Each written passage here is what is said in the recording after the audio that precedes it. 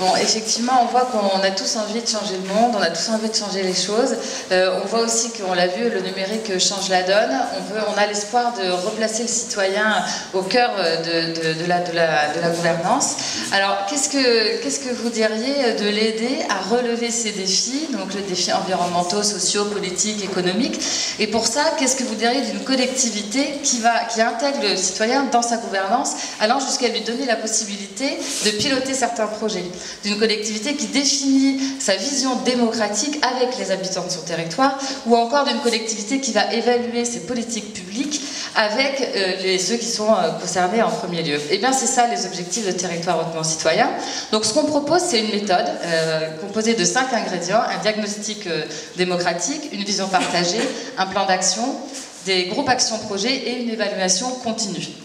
Euh, donc euh, cette méthode, sa force c'est d'impliquer tous les acteurs, les élus, les agents des collectivités, les associations et, euh, le citoyen.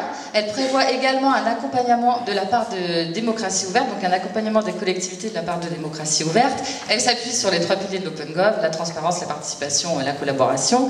Et finalement, Territoire hautement citoyen vise à changer les choses de l'intérieur, mais en faisant participer l'extérieur. Alors nous, notre espoir démocratique, ben, c'est que notre pays foisonne demain de territoires sur lesquels le citoyen co-construit la démocratie au quotidien.